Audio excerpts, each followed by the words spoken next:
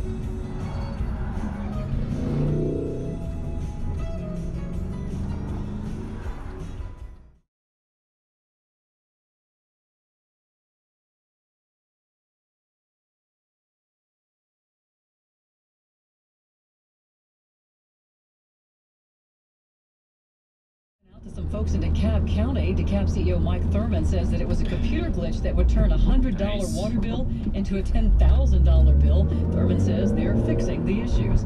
More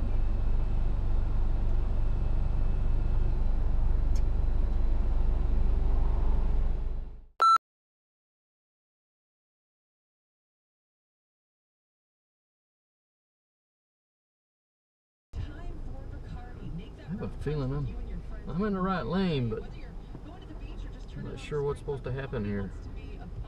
I think you're supposed to go across. Or you mean what? Yeah, this he's way? supposed to. Yeah, she's telling you something. I don't know. We were just talking about that too. No. What? You guys go ahead and go first, and then I'll follow you. Oh, I know. I think they just. Yeah, they just. I think they just repaved this, and it's Okay. screwed up. yeah. Where the driver's license bureau is, Mhm. and um, the cars coming north.